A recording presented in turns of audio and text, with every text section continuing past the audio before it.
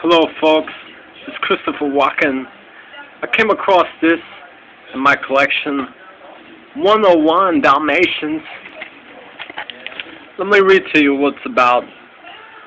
Unleashing every ounce of Disney magic, 101 Dalmatians thrilled audiences of all ages with fast-paced adventure and comedy featuring a brilliant performance by five-time Academy Award nominee Glenn Close as Cruella de Vil, achieving new heights of hilarity.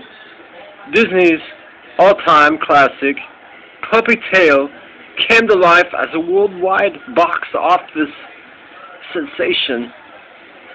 In the small London flat, Dalmatians Pongo and Parody and their human quote-unquote pets, Roger and Anita are overjoyed with the arrival of 15 puppies.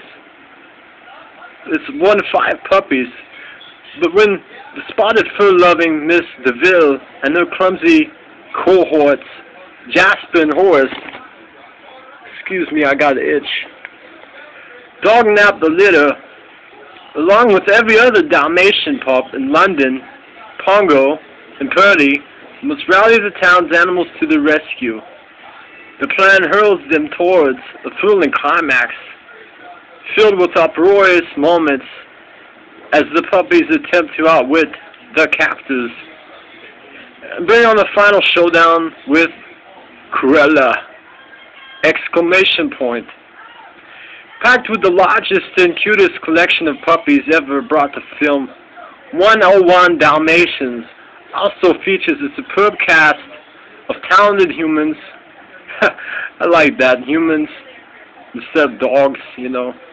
Including Jeff Daniels, Joely Richardson, Joan Plowright. Now you can bring home Disney's live-action comedy hit, praised by critics as nothing short of quote-unquote phenomenal explanation point. And it's got a review 101 on a scale of 1-0. Glenn Close gets 101 zillion. Now that's that's a heck of a recommendation. I highly recommend this classic movie as being an actor myself. Rewatch it if you've already watched it. If you've never watched it, um, watch it. Those those poodles are no Dunskies. And they outwit Cruella, DeVille, Vil, Glenn Close, and 101 Dalmatians. This is Christopher Walken for Old Movie Review.